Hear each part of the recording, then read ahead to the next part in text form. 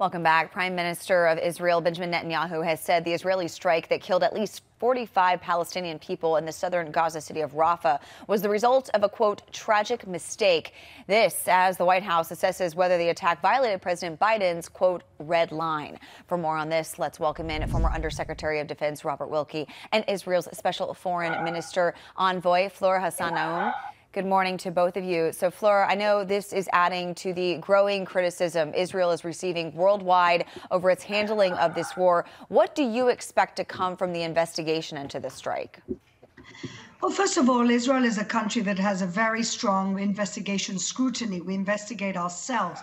This is why the ICC decision last week not only breaks with protocol, but was completely absurd. We're in the middle of one of the most complicated war terrains that exists in the world.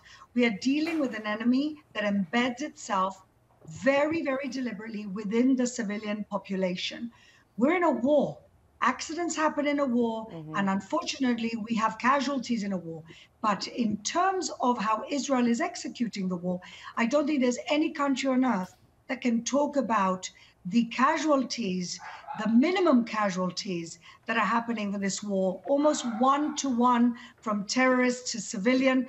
Nobody can talk about these type of numbers. And whilst this incident was particularly tragic, it was mainly tragic because Hamas terrorists embed themselves within that civilian population.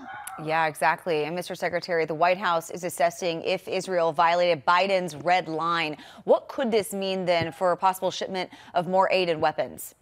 Well, well, look. Let's let's look at what the Biden administration is doing. I've argued for for months now that they're in the Hamas protection racket. Um, the the Secretary of State just said that uh, that Israel is contributing to a mass famine, and, and I want to. I mean, it's so ridiculous that only uh, some Ivy League uh, protester could believe it.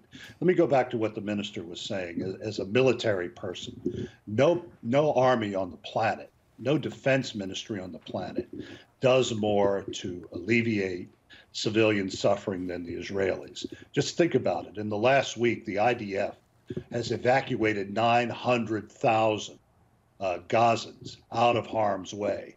And as the minister said, what we're dealing with is not only the most difficult terrain encountered in warfare, urban warfare, we're dealing with a, a death cult that has used its own civilians as shields, that has deliberately taken the the food that this latest Biden folly, the pier, has delivered. Hamas has taken that food and kept it from the very civilians they say they are protecting. Um, Biden wants, I'm, I'm convinced now, Biden wants Hamas to survive so that he can revive this nonsensical two, two state solution that has been the obsession of the Obama Biden clique now for almost 20 years.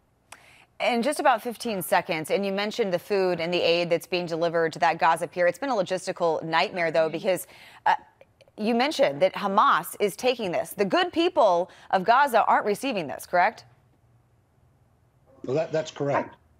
Yeah. Go ahead, Minister. Absolutely. What I wanted to say is that half a million tons of food have gone in since October 7th, which is actually more food that went in before October 7th. Yeah. And the question is not how many entry points, there's enough entry points. The question is not what the volume of food is, there's enough food. The question is who is distributing it? And here you can blame, of course, Hamas, but you can also blame these so called international yeah. humanitarian aid organizations led by the very incompetent and biased UN. They're not doing their jobs. Exactly. What are they supposed to all right. We have to leave it there. We're out of time. Thank you guys so much. Appreciate you both. Thank you. Thank you. We'll be right back.